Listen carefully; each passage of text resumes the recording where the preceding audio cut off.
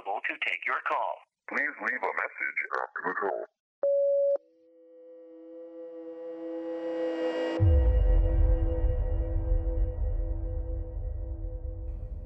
I sometimes have this strange occurrence where I wake up in the middle of the night and I wander from room to room looking for someone. Initially, I have an idea of whom I'm seeking, but as the seconds pass, things begin to blur in my mind. I'm no longer sure of whom I'm looking for. I never do find anyone. Confused, I walk back to my room and lay down.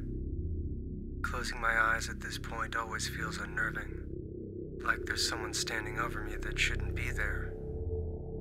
I feel malice filling the void that is my dreamscape. Spider cracks coating the expanse as the glistening shards rain down. The disarray of the fragments, a puzzle of madness. The pieces cutting my hands as I try frantically to restore their order, never really certain of how they should fit. We have these cognitive blind spots. We all see what we want and selectively discard whatever displeases us.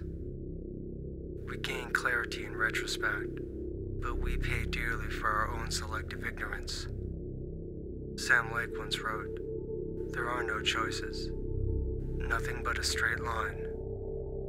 The illusion comes afterwards when you ask yourself, Why me and what if? When you look back, see the branches like a pruned bonsai tree or a forked lightning. If you had done something differently, it wouldn't be you. Someone else looking back, asking a different set of questions. I've paid a hefty sum for my haste. I've had to live with the ramifications of every misstep and falter.